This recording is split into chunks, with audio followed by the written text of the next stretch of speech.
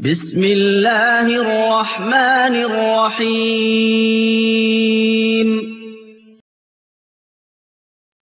إنا نحن نزلنا الذكر وإنا له لحافظون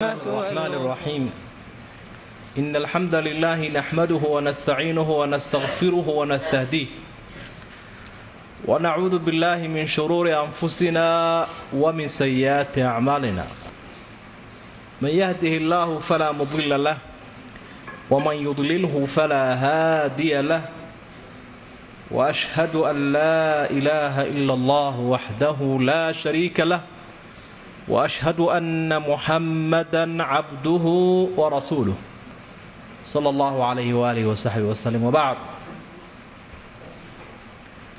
waxaynu maraynay gebagabada aayadda afar iyo kontone suuratul acraaf ka mid ah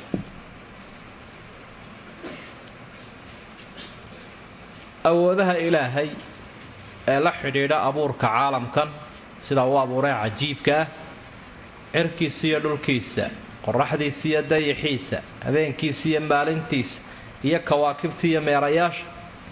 Ilaahay baa soo tilmaamay cajaa'ibka iyo casharada ku sugan. Wuxuu ku gebagabeeyey alaa lahu alkhalqu waalamr ilaahay isagaa iska leh khalqiga oo ah abuurka iyo amarka. Waxa ay markaa tilmaamaysaa alkhalqu abuurka shay walba. Sida dee caalamka aan cidiba ku haysaninba. Abuurka bani aadamka abuurka noolaha abuurka shay walba. Waa khaaliq iyo makhluuqun isaguna waa khaaliq wixii ka soo hadhayna waa makhluuq.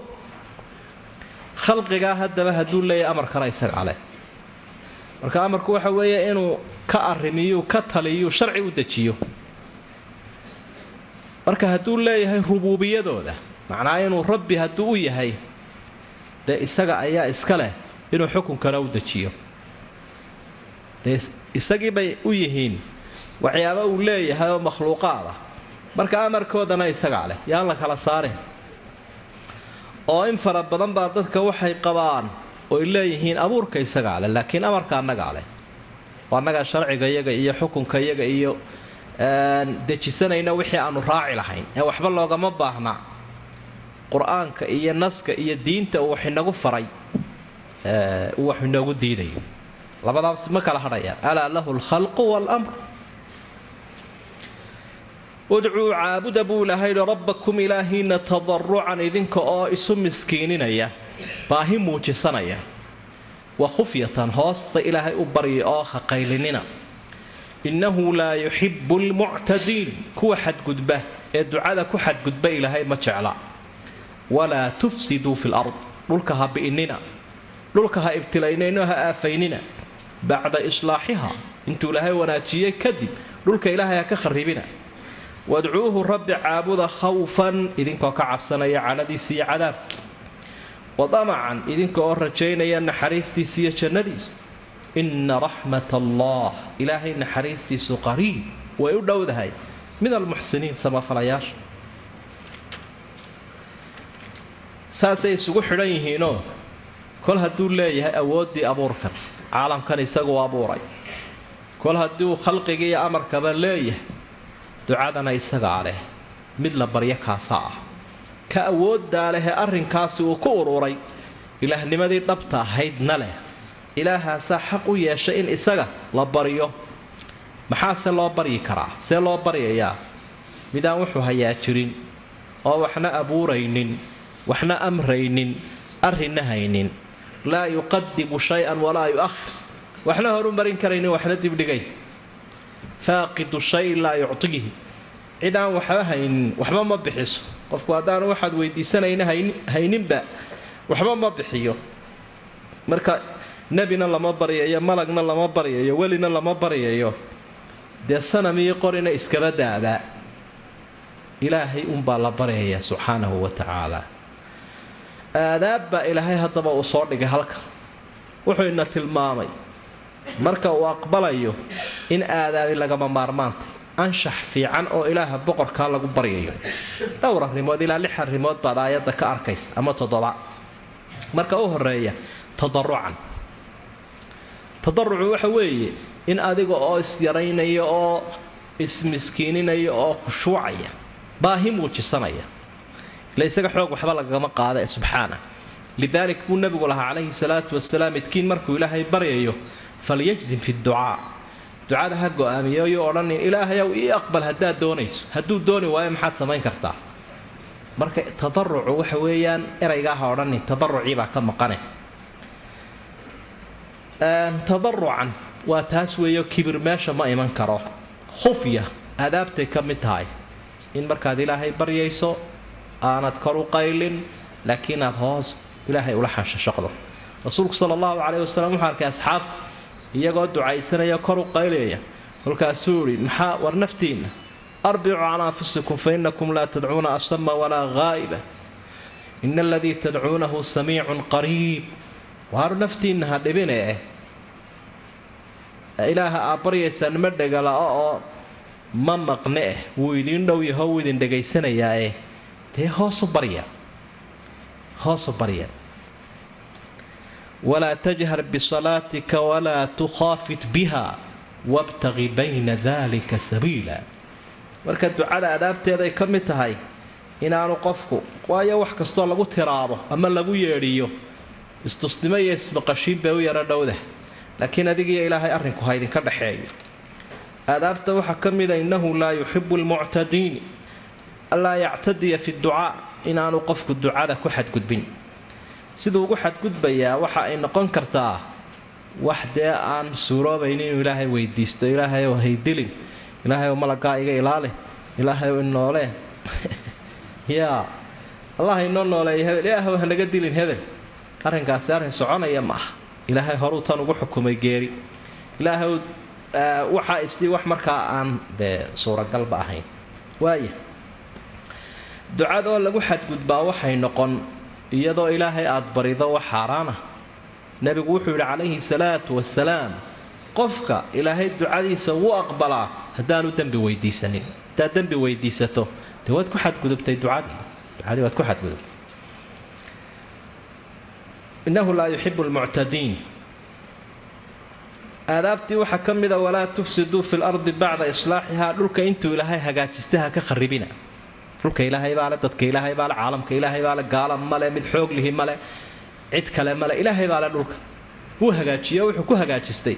Markuu sallaxay kownkani dhiigna kama daadanayn gantaalana kama duulayn. Wax kharaabay iyo wax baaba-ay ma jirin. Dhul sallaxan iyo deegaan wanaagsan iyo wax sumaysani ma jirin wax waliba wax dabiiciyo hagaagsan buu ilaahay ka dhigtay. Wuxuu soo diray rusul. Wuxuu ku soo dejiyey kutub ayuu ku soo dejiyey ilaahay subxaana. Si fidriyaho abuurka ana wuu islaaxiyey si diiniyana wuu islaaxiyey ilaahay. Intaasoo laga dulboodo dabeecaddii ilaahay oo la kharibo dabeecaddii dhulka uu ku sameeyo la kharibo iyo diintiisiioo la diido waa alifsaad fi lard hataa ay dee maanta ku wadaan. Deegaankiibaa kharaabay oo dhulkiibaa sida noqdayoo waa meel ay suneeyeen ay aafeeyeen iyagu. Si qalada ay u isticmaaleen dadkiibaa sida noqdo kadaabaa dhaco khilaaf baa jiro fitnaa jirto diintii ilaahay dadka ururin lahayd bay diideen. Marka waxa ay shardiganina uu tilmaamayaa qofka qofka kolka ilaahay uu ducada ka aqbalayo waa inuu mid ilaahay adeecaya waa mid ilaahay adeecaya waa inuu ee caasiga duca lagama aqbalo. Waidaa sa'alaka cibaadii canii fainii qariib. Ujiibu dacwata daaci ida dacaan falyastajiibuu lii waliyu'minuu bii lacallahum yarshuduun shuruudaasaa ku xidhan aniga ha i ajiibeenoo ha i rumeeyeenoo hanuunka ha raadsadeen saasaa ilaahay uu leeyahy marka caasiga ducadiisii la aqbali maaya waa caabudka ka ducadiisa la aqbalaya muslixaa ducadiisa la aqbalaya mufsidka lama aqbalaya shuruudaha waxaa ka mida wadcuuhu khawfan khawfan idinkoo ilaahay ka cabsanaya markaad ilaahay baryayso waa inaad ka warwarsantahood leedahay talow ma la aqbali tan? Talow tan miyaa la soo celin doonaa? Mise waa la aqbali? Talow wixii lagu aqbali lahaa ma haysaa talow maxaa ka hirgalay ducooyinkii hore?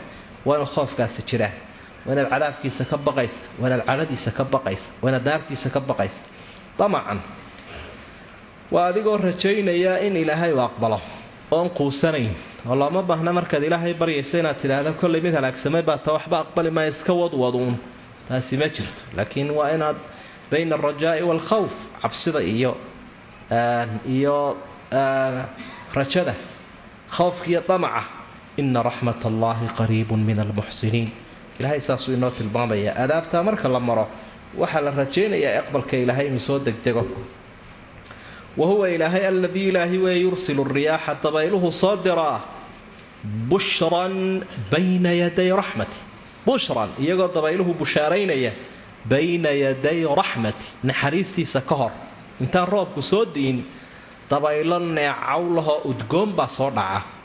Xataa idaa aqalat markii ay soo hinjisay dabaysha saxaaban daruur hiqaalan culus. Markay dabaylihii daruuro culus soo hinjiyeen ay soo kaxeeyeen. Suqnaahu waxaanu u kaxaynay daruurta ama suqnaahu waxaanu ku waraabinay libaladin mayit dhul baaba'ay oo bakhti noqday ayaan ku nooleeyay baa ilahay uhi biyaha aan ku shubay. Fa anzalnaa bihi lmaa biyii baanu ku shubnay dhulkii. Fa akhrajnaa bihi waxaanu ku soo saarnay biyaha min kulli amaraat midho oo dhan. Midho oo dhan biyaha ilahay ku soo saaray. Kadaalika sida midhaha ilaahay ugu soo saaray biyaha.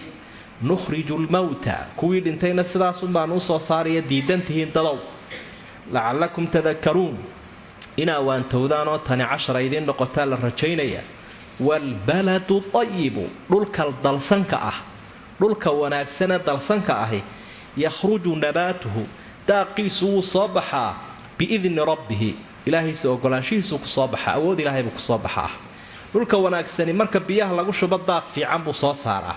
Waaladii khabuha dhulka dalxunka ahina laa yakhruju ma soo baxo ay nabaatu daaqiisi iyo midhihiisu ma soo baxo? Ilaa nakidan.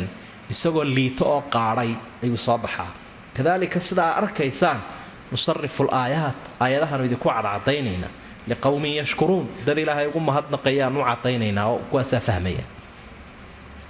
Mar kale waa waxaa ilaahay uu ku noqday aqoontii uu ina barayay iyo indhaheenna uu u jeedinayo ilaa safaxaati hada alkown alcajiib xaashiyaha caalamkan ee aynu ku noolhay in xaashiyihiisa balaayaadka ilaah aynu ka akhrino. Waxa uu tilmaamayaa tii hore xagga abuurka ahayd laakiin tanna isbedelada inuu isagu hayo oo geeridiiyo nolosha isaga haya. Geeridiiyo nolosha isaga hayo dadkan isagaa markii hore noolaystay iyo khalqigan isagaa dilaya isagunbaa marka dambena soo noolaynaya taasaa dadkii diideen. Oo waxay leeyihiin haa qaarkood baale wuuna nooleeyey marka hore laakiin nama soo noolaynaya mar labaad kolkii hore na nooleeyo haddana na dil. Geeridii labaadunbaa lagu noloshii labaadunbaa lagu adkeeyay diideen oo ku adkaatay rumayntii aakhiro. Tusaalaa ilaahay uu siiyey nooloo la arkayo oo aan cidba ka qarsoonayna qof waliba indhihiisa uu saari karayo. Tusaalahaasoo la xidhiidha dabaylihii oo dhacaya roobkiioo shubmaya dhulkiioo biyihii qaadanaya daaqiioo soo baxay dhulkii omoska ahaa ee baaba'ay oo haddana barwaaqadu inta isqabatay qurux badan oo geeri dabadeed noolaaday.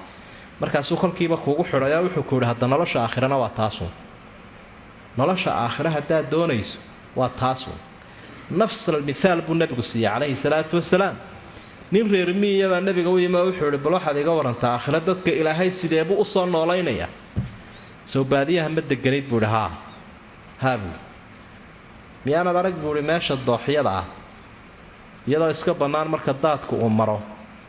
Waxaa ka soo cagaara dhir yaryar oo kala duwan oo wada cagaaran ayaa ka soo baxa. Ma jirtaa haa. Dee kolkii hore may jirin sooma nolol ma aha haa. Dee dadkana saasoo kale u soo noolaynaya. Marka had iyo jeer qur'aanku marka uu la hadlayo bani aadamka waxa uu ula hadlaa si caqligooda qancin karaysooo qof walibana qaadan karayooo dabaqadaha dadka qaarkood uun aanay fahmaynin oon qaar ku adkaanayn ay wada fahmayaan dhammaantood. Marka ilaahay waa ilaaha awoodan leh. Awooddaa horuu lahaaye abuurka. Awooddan imbaadka iyo soosoo noolaynta iyo isagaa iskale haddana. Marka dabayluhu dira alriyaax waa dabaylaha had iyo jeer marka ay soo dhacaan la garanayo inuu roobkii soo dhow yahay. Dabaysha ninbaa xooluu raacayaoo wuxuu ihi foorow walee waxaad soo qaadaabaad weyday waxba maad hakranin buu. Macnaa wuxuu yaqaanay fooruhu markuu soo dhaca inay daruuro waaweyni soo kacaan. Kolkaasuu dabeedna foorihiibaa muddo soo dhacayoo muddo soo dhacayoo kolkaasaa daruurii waaweynaabuu arki waayey. Dee waa kaa foorihii waxu tiiriyey. Foore waa dabaysha halkaa hawd bari ka soo dhacda had iyo jeer kaliishii foore waxba ma haya ilaahayba haya. Laakiin wuxuu arkay inay isku beegmi jirta subxaana ilaahay baa marka wuxuu tilmaamay dabayshaasaa ilaahay soo diraa iskama timaade fooraha iyo neecawda midna iskama yimaada ilaahay baa soo diraa. Bushran bayna yaday raxmati. Naxariista ilaahay ka horbay bushaareeyaan dabaylaha had iyo jeer bal u fiirsoo ay iska dhex jooginuunoo marna shaarhka hawla bixin marna koodha ka gashanine. Bal dabaylaha diraasee mid xaggaasay buufta haysaayoo ka soo dhacaysa. Waa wakhti la yaqaano oo waa xagaa xagaa cadde iyo xagaa madoobay soomaalidu yidhaahdaan. Mid waa la yaqaanaa xagaa madoobe waa wakhtiga guyartu ay da-do ee gudgudaha iyo miiraalaha iyo roobkaas da'o. Wakhtina waa xagacadda waxaa la inaanu jirin wakhtigan roob. Dabayshaasunbaa bawda inkastoo labadii jeerba ilaahayna waraabiyay sanadkan alxamdu lilaah ilaahay baanu mahadnaqaynaa. Haddana way wareegaysaa marka ay imika oktoobar gaadhe xaggan ay ka soo dhacdo. Habeen qura markay taasi soo neefto. Daruur qura arki maysid gabadanadii dhaxantii umaad filaysa. Way wareegaysaa haddana markaasay fooro noqonaysa. Marka u dambeeya kolkay halkaa ka dhacdo ayuu roobkii curanayaa. Subxaana saasuu ina bara ilaahayba subxaanahu wa tacaala. Nushran iyo nushuran iyadana iyo nashranna way jirtaa. Nashran macnaha in dee quraada sabcada qaarkood ba akhriyaya. Waa qiro la awooda tanoo kaleo kutubaha qaarkood ku qoran yihiin weliba saasay quraa'aduna u badan yihiin in nuunka la akhriyo marka haddii la idhaahdo nushran iyo nashran waxa weeyaan iyada oo fidaysa faafaysa kolkan bushaaray ahayd kolka ba'da. Laakiin nushuran iyo nashran waa iyadoo dabayshii sidaa u soo faafayso ka soo horaysa roobka. Dabaylaha qaarkoodba haddaad u fiirsatay marka ay sankaaga ku dhacaan xareeddii aad urinaysa. Xareeddii ayaa kuu uraysa waana dabeel socotay roobba kuma soo gaadhinba muuqaalkiibaa ilaahay uu kortaada keenaya. Xataa idaa aqalad saxaaban hiqaalan daruuro culus bay dabayshii soo qaaday way soo riixday. Kolkaasaa suqnaahu ilaahay baa wuxuu leeyahay waan u kaxaynay way noqon kartaa. Xaggaasaan u kaxaynay. Waxaynu suqnaahu waa waraabinay biyihii meesha ka dhacayay libaladin mayid waddan dhintay. Hadiyo jeer waddanku wuxuu dhintaa kolkaanu geedka sare iyo geedka hoose midna caleen lahayn midhana lahayn hadhna lahayn. Xaggii hoose siigaa ka duulaysa waa dhul omosa bay ama bus ah. In shaaciraa uu ka gabyaya waxau idhi wamahmahin maqbaratin arjaa'uhu kaana lowna ardihi samaa'uh wamahmahin maqbaratin dhulku tilmaamaya markaasaa waxa uu leeyahy dhulku markaasoo kale wuxuu noqdaa qarfo boodh leh oo midabka cirku midabkiisu uu u egyahay kaana lowna ardihi samaa'uhu buui oo samadiisu dhulku u egyahay macnaha qiiqa had iyo jeer iyo siigada ka kacday dhulka ayaa xagga sareba ku badanba markaasaabaa la odhan karaaba dhulku wuxuu u egyahay samada leanno samadii baa boodh badanba oo boodhkii baa isqabsaday cerka xaga koraaba boodh badan buu. Waaya biyihii baan ku soo dejiyo markaasaan nabaata kulli shay soo saaray. Min kulli shayin fa akhrajnaa bihi min kulli shay. Min kulli amaraat min kulli amaraat markuu roobku soo baxo haddaad u fiirsata qaar aanad arki jirin baad arkaysa sanadka barwaaqada ah. Kadalika nukhriju lmowtaa lacalakum tadakaruun waa laba noole un dee. Labadaba marka la diraasaynayo waa noole uun. Dhirtanina waa noole xayawaankani waa noole noolahan mar haddaad indhaha saartay bakhtiye ilaahay uu soo nooleeya noolaha insaankana hadiidin muuqaal kale ilaahay uu bixinaya cajiiba biyuhu way da'aan naxariistana ilaahay xagga koruu ka soo shubaa. Laakiin dhulkan lagu da'siinayo ilaahay uu ku shubayo isku mid maahae dhulku wuu kala duduwan yahay. Meel waxaa la ydhahdaa waa meel dalsan ah oo biyo qabatinlabaa la ydhaha meelina waxa weeye meel iska diriya amaba si kale haddii loo dhigo bataax iyo niisa sida xeebahoo kale. Labadaasi isku mid maaha marka dhulka dayibka ah ee dalsanka ah nabaadkiisuu soo saaraa ilaahay idamkiisuu ku soo saaraa. Dhulka khabudka ah ee xumaadayna wuxuu nabaadkiisu soo baxaa isagoo nakida. Nakidka waxa weeyaan wax liito oo qaadhay oo aan ishu aada u qabanayn daciifa naxariistii ilaahay shub laakiin dhulkii labadaas u qaybsamay iyaba waa cajiib. Waxbaa la tusaale kaleo ilaahayna siinayaao dadka had iyo jeer lagu soo dejinayo qur'aankan baa labadaa nooca. Aayadda waxaa sii fasiraya xadiidka saxiixa rasuulka ka sugan sala allahu calayhi wasalam wuxuu idhi hanuunkan ilaahay iigu soo diray iyo cilmigan uu ii soo dhiibay iyo dadka loogu talagalay marka tusaalahooda la eego waxa ay ka dhigan yihiin roobka ilaahay shubaya oo kale. Roobka ilaahay shubaya marka roobkii wuxuu ku da'ay dhulka qayb ka mid a markaasaa fa amsakat ilmaa wa ambatat alcoshb intay biyihii dhulku liqay. Meelaha qaarkood baa roobku inkasta hadda ee biyo dul maraya aanad arkayna dhulku liqaya. Ayaa daaqiina uu ku soo jawaabay. Dhulkaasi wuxuu leeyahay ajaadib dhul harooyin iyo qaydaro iska dabiiciyahoo biyo fadhiisin leh. Oo sanadka oo dhan biyaha laga cabayo. Marka dhulkii biyaha biyihii dhulka galay daaqabaa ku soo baxay ilaahay idamkii kuwii dul harooyin baa ay galeen. Marka dadku biyo ay cabbaan iyo baad iyaga iyo xoolahooduba ay intifaacsadaan bay heleen. Dhulka kaasi waa mid buu nebigu. Dhulka qayb labaad baa jirta oo biyuhu dul maraanuun oo caawo dhammi hadduu daad marayo oo aad yaro qodo intaanad labaatan santi gaadhin ama nus mitir ayaad boodh u gelaysa marka dhowr cisho la joogo kadib meeshuba way siigeynaysa dhulkaasi buu nebigu yihi calayhi salaatu wasalaam ma laha meel biyaha qabataba. Meel biyaha qabata ma laha. Waaya dadkii wax badani uma soo bixin biyii meelay ka cabbaanna may helin haddaba hanuunka iyo cilmiga ilaahay ugu soo diray saasoo kale uga dhigan yahay dadka. Dadka waxaa jira qur'aanka qayb qabatay rumaysay xafiday ku camalfashay oo qalbigoodii sida dhulkaasoo kale qur'aanka iyo naxariistan ilaahay ee uu soo dejiyey rabbi weel culan u noqday. Iyo qayb kale oo lam yarfacuu lidaalika ra'san buu nebigu leeyahy aan waxyiga madaxaba u qaadinba. Intay xafidaan ama qabtaan iska daayo mabay dhagaysanba may odhaninba maxaa la yidhi haddii ay meesha lagu akhriyayo joogaanna waxay idhaahdeen maadaa qaala aanifan argoor dhoweyd muxuu lahaa. Waa kii wax akhriyayee munaafiqiintu markay nabiga ag fadhiyaan saasuu qur'aanku ka warinaya. Qur'aanku wuxuu ka wariyay munaafiqiintii oo nebi maxamed jaamacaddiisii fadhiya oo cilmigii dhagaysanaya. Oo haddana markuu dhammeeyey qaar agtooda ku yidhaahdeen maadaa qaala aanifan goor dhoweyd muxuu yidhi waa ka maglafan weeye wuu baalmaray wixii la sheegayay marka aayaddu waxay bixinaysaa muuqaal naxariistan ilaahay ee waxigee soo degaysa. In dadkii qaarna uu daadego intifaacsadeen qaarna uu baalmaray marka waxaad ku dadaashaa ilaahayna baridaa inuu kaa dhigo kuwa weeleeya ee aanu baalmarin laqad arsalnaa buu ilahay waxaanu soo dirnay nuuxan ilaa qowmihi nebi nuux qoladiisii baanu dirnay buu rabbi yidhi. Fa qaala markaa nebi nuux wuxuu idhi yaa qowmi tolkayow ucbudullah ilaahay caabuda. Maa lakum min ilaahin hayru ilaah kale aan isaga ahayn ma lihidin. Weligiinba sheega oo ma jiro.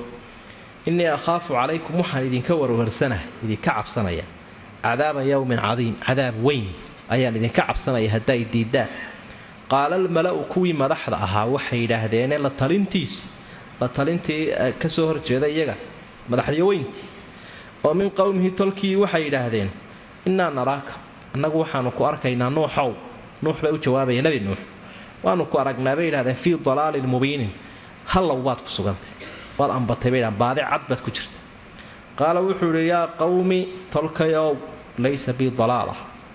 Waariguma sugna in yaroo hallawiina hal midh oo hallawiin ma hallowsani in yarna. Walaakinii rasuulun min rabbi alcaalamiin waxaan ahay rasuul ka yimi ilaaha caalamiintan iska leh. Ayaa isoo diray uballiqukum risaalaati rabbi. Waxaan idin soo gaadhsiinayaa fariimaha ilaahay. Waxyigii ilaahay baan idiin sidaa. Wa ansaxu lakum waanaan idiin danaynayaa waa idinla talinayaa. Wa aclamu min allah ilaahay xaggiisana waxaan ogahay. Maa laa taclamuun waxaydaan ogayn oo haddaad diiddaan dhici doona. Marka suuradda sidii horeba aynu soo xusnay muqadamadii iyo hordhicii suuradda waxay aada uga hadlaysaa sidii suuratul ancaam oo kale towxiidka laakiin dhinaca ay ka eegaysaa waa laba arrimood. Awoodaha ilaahay la xidhiidha caalamkan sida aynu soo arkayna imikaba iyo awoodda ilaahay la xidhiidha fil umami almaadiya ummadihii tegay ama maalmihii adduunyadan soo maray. Maalmihii adduunyadan soo maray iyo dadkii soo dhaafay taariikhdoodiibaa qur'aanku iyadoo xaq ah uu warinayaa marka uu qofku halkaa dhagaysto ee uu dhadhamiyo ee uu dhugto wuxuu kala baxayaa inuu insaanku ku nabadgeli karo un rumaynta ilaahay isagoo ilaahay addoon u noqda wuxuu kala bixi karayaa insaanku waxa uu ku halaagsamayo ayuu halkaa ka fahmi karaya waxa isa soo dabahaya ilaa lix qiso qur'aanku sida qaalibka uu isku xidhiidhiyo. Waa qoladii nebi nuux qoladii nebi huud qoladii nebi saalix qoladii nebi shucayb qoladii nebi luud iyo qoladii nebi muuse. Waliba qisada ugu dheeri waa qisada ugu dambaysee nebi muuse qisadiisa calayhi salaam. Qisooyinkaasi qur'aanka marar fara badan bay soo noqnoqdaan xikmadooda iyo casharadooda iyo cibradooday leeyihiin waxa kaaga filanba cibrooyinka ugu waaweyn kumayaal sannadood oo adduunyadani soo jirtay ummaduhuna soo jireen. Dhacdooyinkii la soo maray iyo waayo aragnimo la soo gudbay oo aynaan kasbaneen inta yara aynu jirno ayaa ilahay iyadoo sideedii ah waayo aragnimada ummadahaas ayaa horteenna uu keenaya horteennaa wuxuu keenayaa maadigii tegay iyo dad waxa ay ku soo qaateen wakhtigoodii. Markaasaa sidaa intood hortaada u eegtaad arkaysaa wixii dadi ay gallad ku heleen iyo wixii ummadi ay ku halaagsantay labadaa. Wixii lagu horumarayo wixii lagu halaagsamay qisadana kaaga muuqanaya waxaa qisadani qisooyinkani faa'iide ay ka yihiin rususha iyo cidda had iyo jeer diin iyo dacwad faafinaysa. Inay u noqdaan wax qalbigooda dejiya oo ka ilaaliya warwarka walbahaarka iyo uqaadanwaaga iyo degdega waxoo dhanba qisadani qofka way ka qancin karaysa.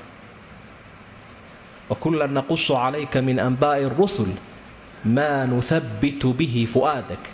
Qisooyinka aan kuu sheegayabaa ilaha wuli waxaan kugu sheegayaa si qalbigaaguu dego oo waxa lagugu samaynayo aanad ula yaabin.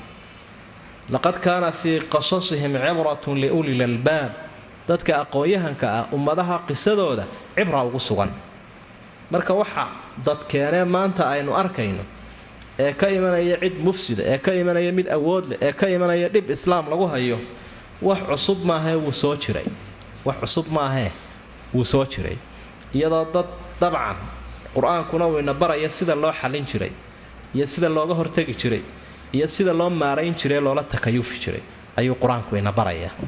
Markaa kolkaad qur'aanka qisooyinkiisa akhridee waaqica imika aynu ku nool innagu aad barbar dhigto waxaad arkaysaa dee haddii fircoon jiro inay fircoonna un jiraan haddii dad ay awood ku kibri jireen oo awoodda xukunay si uga faa'iidaysan jireen qalada inay kuwii maantana jiraan haddii uu jiro istiqlaal min xayu alcilm xagga cilmiga in si qalada dad u isticmaali jiray cilmiga xadiidkii horumarka kolba la gaadho sidii qaaruun oo kale inay maantana qaar jiraan mar walba waa arrin soo noqonaysa oo runtii wax badanaad qofka qisadan garanaya uu ku maarayn karayo.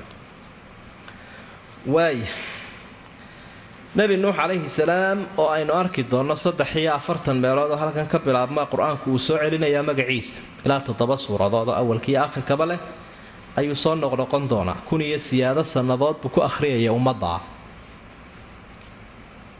Ilaahay wuxuu tilmaamay sagaal boqol iyo konton sannadood inuu dhexdooda joogay fa fiihim alfa sanatin ilaa khamsiina caama. Kun sannadood oo konton la ayuu ummadda u baaqayay rusushana dee had iyo jeer afartan jir marka ay gaadhaan ayaa la diri jiray. Ummaddan kolkii la halaagayna mudduu sii noolaa taasi waxay tusinaysaa muddada uu joogay inaanay yarayn ee ay aada iyo aada u badnayd waxa qur'aanku uu tilmaamay haddana inta rumaysay inay ahaydba maxay? In dooni raacdayba. Gebigooduba inta hanuunkaa calfatay ee ku guulaysatay in waxay ahayd dooni gebigooduba raacayba. Taasoo ina tusinaysa innaga waxa inala gudban inaynu sida ugu quruxda badan ee ugu xigmada badan dadka ugu sharaxno u gaadhsiino u fahamsiino diinta ilaahay. Laakiin kii ay baal maraysa ee sida dhulkaa qallalay ka noqonaya dee ku qasbi kari mayno qasab ku gelin kari mayno qalbigiisa haddii ay badan waayaan oo dadaalkaaga iyo ay iswaafaqi waayaan ama dadaalkeenna iyo ay iswaafaqi waayaan dadka la soo helayna dee maaha inaynu iska tuurnayn nidhaahno waxba way socon waayeene istiraatiijiyadii aynu lahayn way fashilantae bal meel kale inoo kaxeeya. Waaya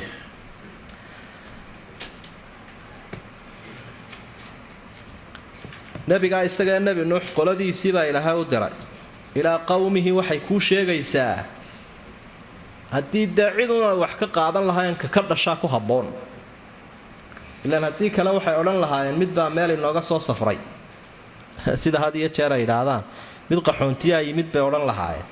Ee kani waa min ilaa qowmihi waa qoladiisii oo way garanayaan abtirsiimadiisa isaguna markuu u yeedhayo waxa uu ku had iyo jeer ku soo dhowaynayaa yaa qowmi buu leeya yaa qowmi macnaha waa eray muujinaya inuu u danaynayo oo naxariis ay ka tahay oo aanu fadeexadaynayn ucbudullaaha maa lakum min ilaahin hayru waa halkii asalkii dacwadda laga bilaabayayoo dadka mar walba asaaska wixii la farayo waxa ugu horeynaya towxiidka towxiidka dhinacyo badan buu towxiidkaasi khusaynayaa dadku horta inay ilaahay rumeeyaan oo ay aaminaan weeye waayo wax kastoy fuliyaan waxa uu ku xidhan yahay rumaynta ilaahay.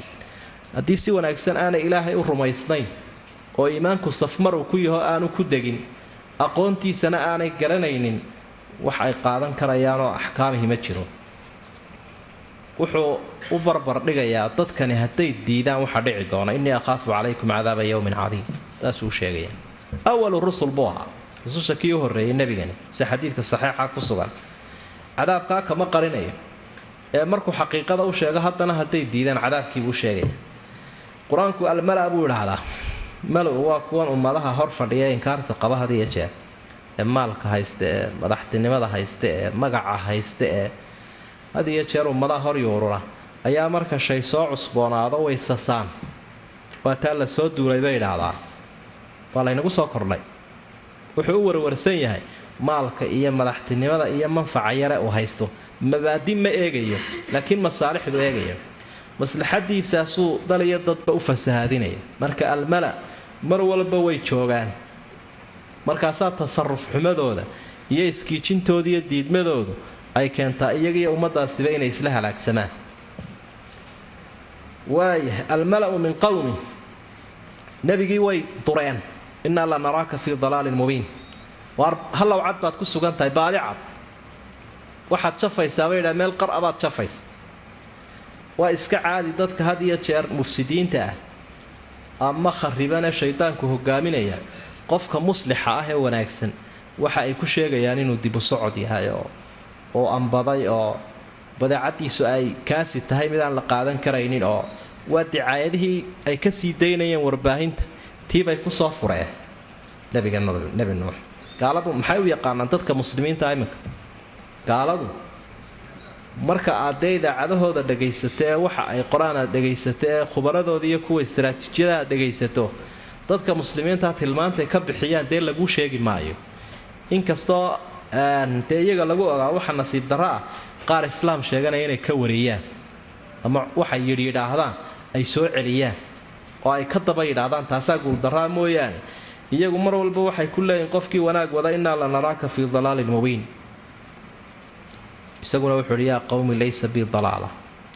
Dalaalatun ta'du waxa ay tusinaysaa inuu yahay shaygan midh keliya wax halawa in yarna ha ahaatee ilaahay baa hanuuniye. Rasuul ilaahay baan ah ilaahay xaggiisaan ka imi risaaladiisii baan idin soo gaadhsiinaya. Wa ansaxu lakum waanaan idiin naseexaynaya naseexadu waxa weeyaan waa in qofkii loo daneeyo qofkii loo macaaneeyo qofkii lala taliyo qofkii la badbaadiyo nasiixadu waataa marka had iyo jeer rususha iyo dadka saalixiintu waxa ay u socdaan inay ummadaha badbaadiyaan inay ummadaha dubtaan oo ay halaagaan uma socdaan. Kuma ceeshaan halaagga ummadaha laakiin horumarkooda iyo badbaadintooday u socdaan ay u taagan yihiinba wa ansaxu lakum. Nabi maxamed calayhi salaatu wasalaam asxaabi asxaabta ka mida markuu islaamka ku gacan qaadaya heshiiskii islaamka wuxuu uhi wanusxu likulli muslim. Arkaan islaamkii iyo arkaan imaankii waxaan kugula heshiiyey sidaa. Waxaa kale oo aan kugula heshiiyey inaad dadka muslimiinta u danayso inaad la taliso waaclamu min allaahi maa laa taclamuun aw cajibtum ma waxaa la yaabteen an jaa-akum inuu idiin yimid dikrun min rabbikum waxi ilaahiina xaggiisa ka yimid miyaa la yaabteen calaa rajulin minkum calaa lisaani rajulin minkum nin idinka mida carabkii ayaa waxigaasi uu ka soo baxayaa laydinku soo dejiyey liyundirakum si uu idinku diga rasuulkaas walitattaquu si ay ilaahay uga cabsataan walacallakum turxamuun iyo si laydinku naxariistaa waxyiga loo soo dejiyey fakadabuuhu way beeniyeen nebi nuux fa anjaynaahu waanu badbaadinay nebi nuux waaladiina macahu iyo intii la socotee doonnida la raacday waaladiina macahu filfulki kuwii doonnida la raacay waa nabadgelinayey isagiiba wa aqraqnaa waxaanu hafinay oo biyo ku hurgufnay aladiina kadabuu biaayaatina kuwii aayadaha iyaga beeniyey innahum kaanuu iyagu waxay ahaan qowman qolo caamiina oo dam ah indhihii u bixi lahaa indhahay dam ka ahaayeen xaq may arki karayn. Wuu qancinayaa leanna uma quusanayo oo dee hawshiisu waa tan. Ilaahay baana u soo tababarayoo rusushu maaha dad degdega ee waa dabir dad sabir lah oo dhabar ballaadhan oo nebigu calayhi salaatu wasalaam waxa uu tilmaamayay cidda ugu imtixaan badan ee ugu sabir badan inay rususha ilaahay tahay. Leanna way ugu iimaan weyn marka wuxuu yihi warma waxaa la yaabteen inuu waxyi yimi oo loo soo dhibay rasuul? Rasuul idinka idinka mid a calaa rajulin minkum nin idinka idinka midiina wuu yimi oo garanaysaa. Waxyina wuu sidaa iyo dikri dikrigu waa shay wacdina ah sharafna ah. Wax sharaftiinna ah oo nin idinka mida uun loo keenay markaasaa la yaabtay. Faa'iidada ka helaysaana waxa wey digniinna wuu idin yihi alla kacabsina wuu idin yihi naxariisna waa ku helaysa. Maxaa ka faa'iido badan wixii balaayo soo socota wuu idinka digaya. Wixii ku horu mari lahaydenoo alla kacabsiya wuu idiin sheegaya. Wixii naxariista heli lahaydeen isagu ku jiraa walacallakum turxamuun. Intaasoo faa'iide a buu leeyahy waxyi markay beeniyeenna dee waxa bilaabmay wuxuu uga digayay markaa saasay isugu xigaanba. Cid kasta oo beenisa ilaahay waxyigiisa waxa aad ka filaysaa waxaan la mahadinaynin wey. Fa kadabuuhu fa anjaynaahu waaba isku xigtaaba. Beenintii iyo iyo wixii ilaahay oo bilaabmay. Cadaabkiisii bilaabmay. Marka isagii baa la nabadgeliyay iyo waladiina macahu filfulki intii la socotee doonida la raacday. Doonidaasi ilaahay baa ku badbaadiyey. Doonidaasaa ilahay ku badbaadiyay inta la socotayna dee way lahaayeen insi iyo makhluuqaadka kaleba intii siirhka iyo abqaalka ahayd ee makhluuq uu ka farcami lahaa. Hadday tahay bani aadamka iyo haddii xayawaanada kale tahayba intaasaa ilaahay uu doonida saaray. Doonidu intay laagayd cabirkeeda iyo imise mitir buu irtifaaceeda iyo dherarkeedu ahaa iyo meesheebay ka degtay iyo arrimahaasoo dhammi. Haddii muraad adag uu ku sii tacalluqo xigmadi ku jirto nasku waa faahfaahin laha laakiin midhka muhiimkaa waxa weeye ummad muxuu ilaahay ku halaagaa maxayse ku badbaadaa maxaase soo kala maray awliyadii ilaahay iyo acdaadii ilaahay? Inta qur'aanku uu sheega waa inta ugu cibro weyn weey. Filfulki alfulku lmashxuun dooni buuxda. Doonidan iyada oo uu joogo berrigii oonu badba joogin buu musbaarayaa wuu samaynayaao kolkaasaa intay soo maraan ayaa kulamaa mara calayhi mala-un sakhiruu minhu kolka koox iyaga ka mid oo sheekaysanaysaa soo maraanba waa lagu dheeldheeli jiray. A asbaxa najaara bacda an kaana nebiyan war ma intii uu nebi sheeganayay buu nijaar dallacay oo uu isu rogay sukhriyadaasay wadeen. Doonidii siday halkaa u taalay markii loo soo diyaariyey wixii fuuli lahaa ayaa qasabadii ilaahayna furmeen. Bartii unbay kor uga kacday uun. Ileen bad bay noqotay. Ilaa ilaahay uu ogolaanayay in arrimuhu dhammaadeen oo dabeedna waqiida almaau waqudiya alamru wastawat cala aljuudiyi waqiila bucdan lilqowmi aldaalimiin yaa samaau aqlicii maak waqiida almaa waqudiya alamr waxa ay tilmaamaysaa muuqaal cajiibahoo aayaadkaas aynu ku gaari doono insha allahu suuradaha dambe waa cirkii iyo dhulkiioo labadiiba ilaahay u amraya kana inuu biyihii joojiyo kana uu liqo kuwiisii kana kuwiisii joojiyo kana kuwiisii liqo. Dadna meel ilaahay ugu talagalay ayuu ku baarkin gareeyey saasaa lagaga soo degoo lagu badbaaday.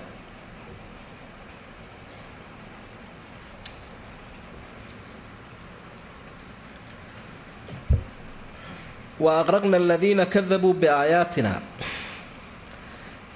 wa aqraqna aladiina kadabuu binuuxin aw binabiyina muu odhan ilahay biaayaatinaa buu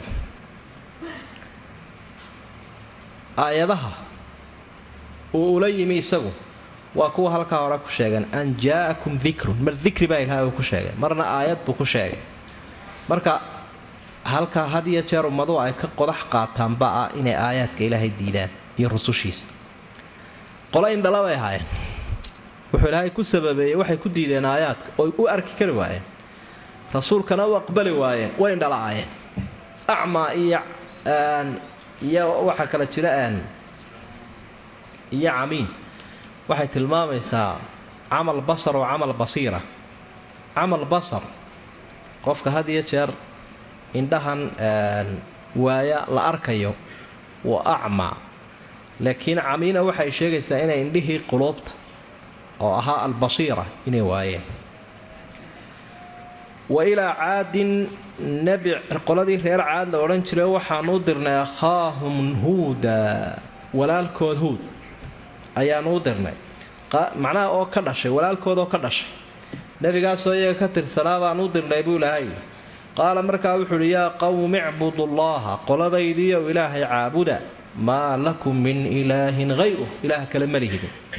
Afalaa tattaquuna miyaydaan cabsanayn? Dee ilaahay ka cabsadoo xishooda wey qaala almala'u aladiina kafaruu min qowmih qoladii madaxda ahaa gaaloobay tolkii ahaa waxay ku yidhaahdeen innaa la naraaka huudow waxaannu ku arkaynaa fii safaahatin inaad caqliyaraan ku suganta aad ba caqligaagu yari wa innaa la nadunnuka min alkaadibiin waxaabaanu kuu malaynaynaa kuwan beenta sheega inaad qaala wuxuu idhi yaa qowmi laysa bii safaaha waar in yaroo caqliyaraan iguma sugna walaakinii rasuulun min rabbi alcaalamiin rusushii ilaahay soo diray baan ah erge ilaahay baan ah ubaliqukum risaalaati rabbii fariimaha ilaahay baan keeni wa ansaxu lakum wa ana lakum anugu waxaan idinka idiinahay maxay? Naasixun amiin.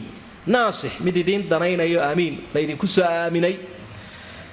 Aw cajibtum ma waxaa la yaabteen an jaa'akum dikrun min rabbikum ilaahay xaggiisa inuu waxyi ka yimi ma taasaa la yaab noqoto. Calaa rajulin minkum.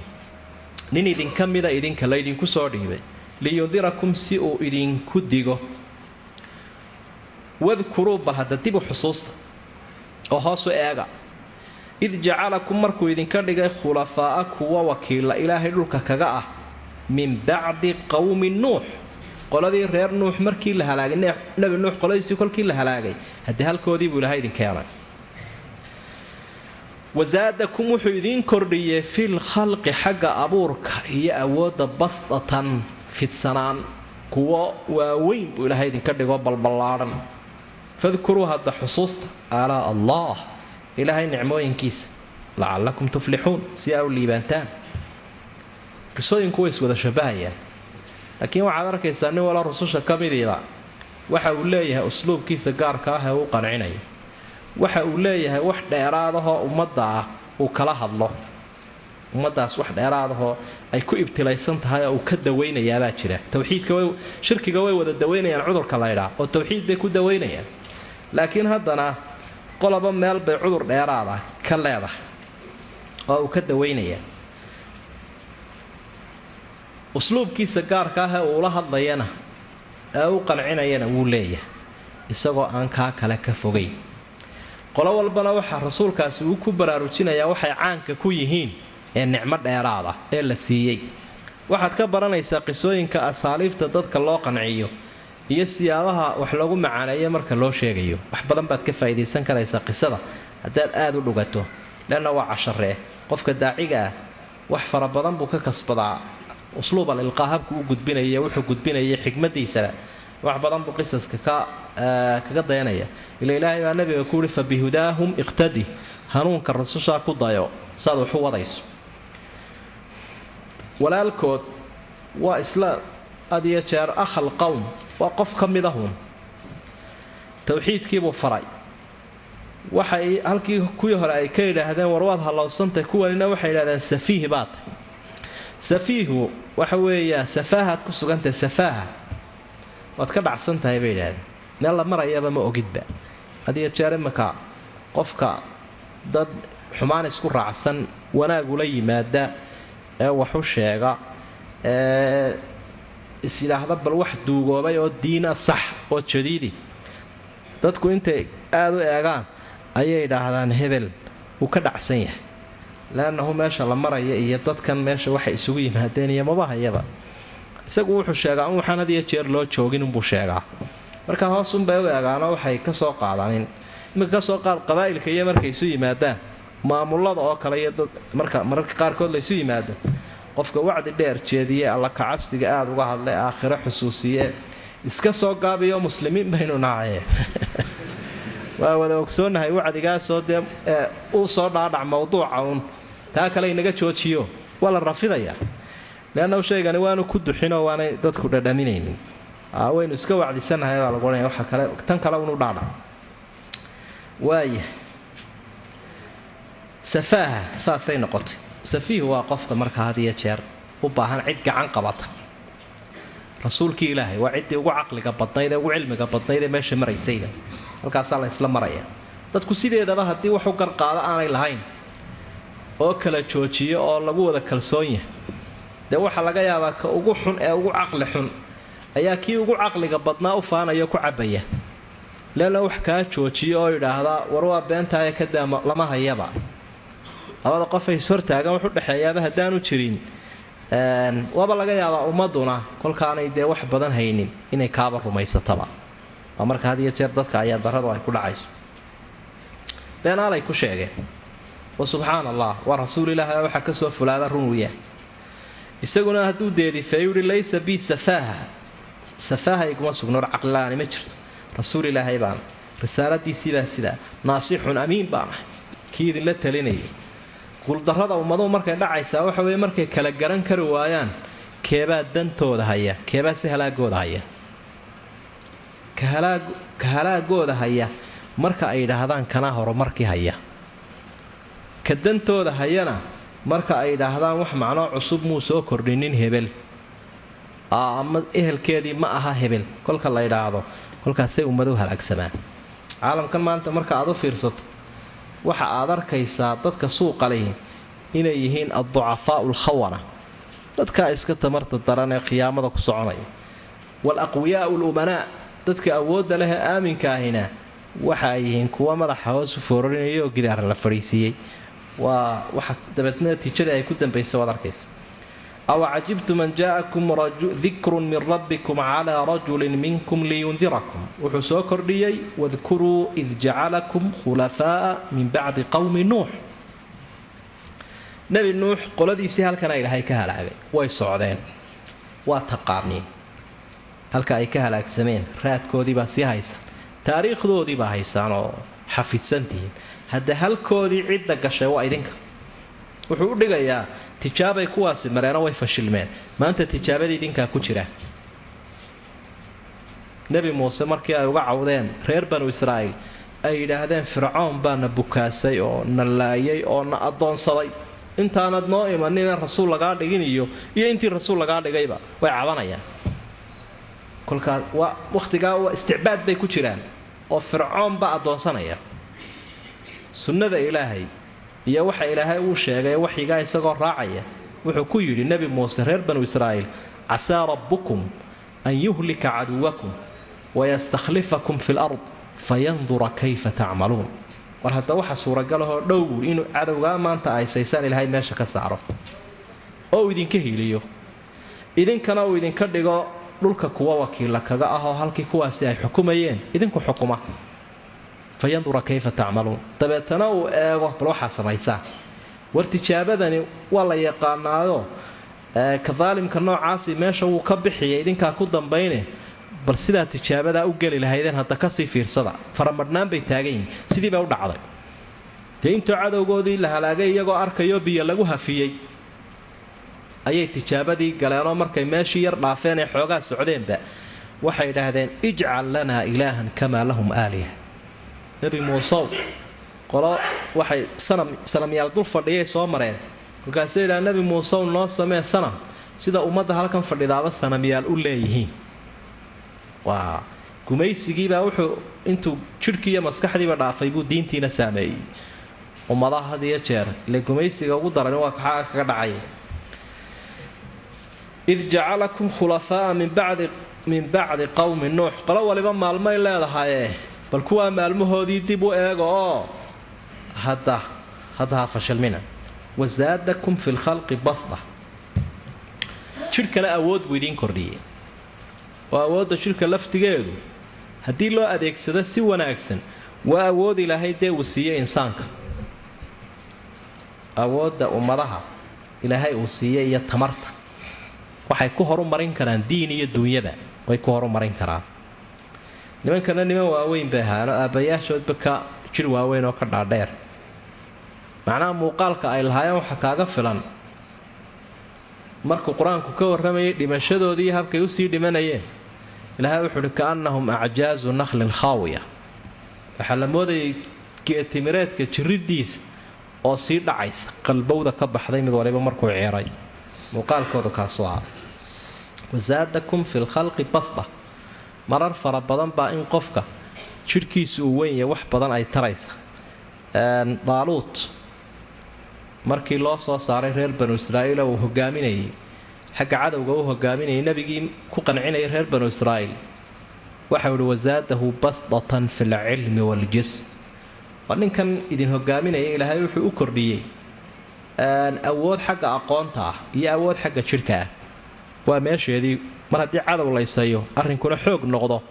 Waa loo baahan yahay nin haybad leh. Laakiin inkastoo dee cilmigii la horraysiiyo cilmigu iyo macrifadu ay hogaaminayaan taa kale oo haddii taa la waayo dee kaanahum khushubun musanadana way jirta waaya nicmooyinka ilaahay xusa si aa u liibaantaan. Qaaluu markaa waxay idhaahdeen nimankii reer reer caad la odhan jiray eryadan bariga dhexe la yidhaahdunbay ummadahani u badnaayeen. Ciraaq ardushaam yaman eryadaas qolada reer caad yaman bay ahaayeen. Qoladan kale ee hamuud iyo ee soo socota qisadooda iyo qowmu shucayb iyo qowmu nuux iyaguna shaam iyo ciraaq unbay u badnaayeen. Waaya waa dhul taariikhi leh oo cajiiba qaaluu waxay idhaahdeen aji'tanaa mooyaad noo timid? Bay idhaahdeen huudow ma waxaad u socotaa linacbud allaha waxda inaannu ilaahay keligii caabudnaad u timid miyaa? Wa nadara aanu iskagaba tagnaba. Maa kaana yacbudu aabbaa'unaa aabbayaashayo wixii ay caabudayeen inaannu iskaga tagnoonu ilaahay keligii caabudna ma waxaad u socotaa ma saasaa? Ma ilaahay keligii halla waxidabaad la shir timid? Bay idhaahdeen oo sanamyaasha ha laga tago. Waa la yaab bay leeyihiin fa'tinaa bal hadda noo keen. Soo hurguf. Bimaa tacidunaa waxaad nagu cabsiinaysa in kunta min asaadiqiina kuwa runta sheegaya haddaad ka mid tahay. Waxalla waxaad cadaabaysa keen. Qaala markaa wuxuu idhi qad waqaca calaykum waxaa idinku habsaday. Min rabbikum ilaahiinna xaggiisa waxa idinkaga dhacay. Idinku dhici doona laakiin xukuman in idinku dhacay. Rijsun halaag cadaab. Waqadabun iyo cadho allah atujaadiluunanii ma waxa igula doodaysaan oo ay hor keenteen ummad yahay. Fii asmaa'in samaytumuuha magacyaal ah magacowdeen oon waxba ka hoosaynin. Antum wa aabaa'ukum idinkiiyo aabbayaashiin magacyo aa sheegteen baa ilaahyaal ka dhigteen maa anzala allaahu maa nazala allaahu biha min suldaan ilaahay kuma soo dejinin awood daliil lagu caabudo. Daliilna looma hayo cibaadadooda. Fantadiruu suga waxa dhaca innii macakum min almuntadiriin aniguna waxaan ka mid ahay kuwa idinla sugaya bal aynu eegno kol haddii diideen qisadu si koobkooban ayaa halkan ugu sheegantay laakiin iyadoo ka faahfaahsan waxaynu arki doonaa insha allahu tacaala suuratu huud ayaa ilaahay ku sii faahfaahin doonaa. Waxaad eegtaa habka ay u hadlayaan ummadani waxa la yaab noqotay bay idhaahdeen waxaa la yaaba ilaahyaashii iyo sanamyaashii iyo wixii la soo caabudaya soo jireenkaha laga soo gaadhay aabbayaashayo inaad tidhaahdaha la yskaga tago oo ilaah keliguuna la caabudo. Arrinkaad wadaa makaasaa war diin iyo ilaah iyo arrin soconaya ma aha bay yidhaahdeen. Iyo ilaah keligii soconayaa ma jiro. Meeshan ilaahyaal badan bay u baahan tahay bay yidhah qurayshina nebiga waxay ku dhahaan calayhi salaatu wasalaam ajacala alaalihata ilaahan waaxida war wax fara badan baynu lahaynoo ilaahyaalo saddex boqol iyo lixdan sanam bay lahaayeenoo kacbada u yaalay quraysh. Saddex boqol iyo lixdan sanam. Saddex boqol iyo lixdanka maalmood bay midba mid ku hagaajiyeenoo yidhaahdeen maalinba ilaah baa maamulaya. Waxna ma maamulaane meelba iska yaallaan. Qoryo meel lagu ilaaliyaba wey. Oo foox loo shido oo la baalasheeyo. Marka saddex boqol iyo lixdankeenaasaa maarayn la-aa meeshanoo waxba isku dhalaalay isna mid qudhu ku soo ururiyey waxaa jahliga la yidhahdaa wax cajiiba wey anshixumada iyo aflagaadana gaal baa ugu xun. Marka saasa yidhaah marka diin la'aan bay xayeysiinayaan. Diin iyo tawxiidna way eedaynayaan. Dadka muslimiinta sheeganaya marka uu qariib ku noqdo wax la yaaba uu ku noqdo diin iyo tawxiid iyo ilaahay keligii ha lagu camal fala sharcigiisa marka la soo qaado in badan baa gidaarka madaxa la helaysa. Dadka waa dad muslimiina oo islaam sheeganaya oo ku abtirsanaya. Haddana waxa la yaab agtooda ku ah shareecadaa lagu dhaqmaya. Bal ka soo qaad. Shareecadaa lagu dhaqmaya. Waaya marka dabeetana qofka idhaahdo shareecadaa lagu dhaqmaya. Iyo diin baa la raacaya. Diinta islaamkaa la raacaya. Dadkii oo muslimiin ah ayuu wax qariiba sheegay dhexdooda waa qaraabo cajiiba rasuulku markanuu leeyahy calayhi salaatu wasalaam islaamku qariib buu ku bilaabmay qariibna wuu ku noqonayaa. Waxay culimmadu tilmaamaan qaraabadu ama qariibnimadan uu nebigu sheegayaa way ka duwantahay taa hore. Dadkii iyagii muslimiina buu islaamkoodii qariib ku noqonayaa waa muslimiin haddana islaamkoodii baa qariib. Islaam waynu nahay oo wuu ku dagaalamayaa qof. Haddana islaamkuuna aan ku dhaqanabaaba qariibaba. Waa arrin cajiiba wey nimankani waxay ku leeyihiin aji'tanaa linacbud allaha waxdahu wanadara maa kaana yacbudu aabaa'una de qofka kolka laydhaa diin iyo islaam baa la raacayaa oo waxaa la tuurayaa qaanuun khilaafsan oo waxaa la tuurayaa xeer qabiil oo waxaa la tuurayaa waxay ila tahay iyo wuxuu yidhi iyo waxaanu nidhi ayaa la tuurayaa markaad tidhaahdo maynoo yarkaadii bay leeyiin weli maynaan cagadhiganine horta aan isku hagaajisanee markaasaynu wadi doonaa shareecadee weli wakhtigeedii ha la bislaado dee wuu kari uun weligiiba misagaa bisaylba gaadhaya ila wixii lagu bislaan lahaa wuxuu diidee. Markaa runtii waa waxaa xusid mudan haddii gaalada caynkaa qur'aanku kaga warramay ma aha dadkii muslimiinta ahaa inuu ereygaasoo kale ka soo yeedho waa nasiib darro weyn wey waxay yidhaahdeen bal cadaabka keen. Isaguna wuxuu ihi qad waqaca calaykum min rabbikum rijsun waqadab rijsigu waa cadaabka qadabkuna waa cadho. Ilaahay cadhadiisi iyo cadaabkiisiiba wuu dhacay. Wuu dhacay wuu dhici doona hadda. Waa dhacayna waa yidhi. Macnaheedu way ku xukuman yihiin ma waxay igula doodeen magacyaal idinkiiyo aabbayaashiin sheegteen. Ila waa magacuna manfac ka hooseeya ma jiro ilaah waxtara ma ahee. Bal suga aniguna waan sugiye. Dee waxaa ka dhaca marka aayaadka dambe ilaahay uu kaga warrami doono يا ماهرا بكتاب الله تقرأه أبشر بنور الله والحسنات اقرأ ورتل خاشعا متغنيا بأعذب الألحان والآيات.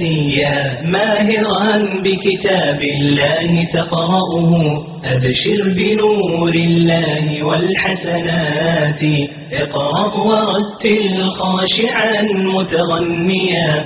بأعذب الألحان والآيات.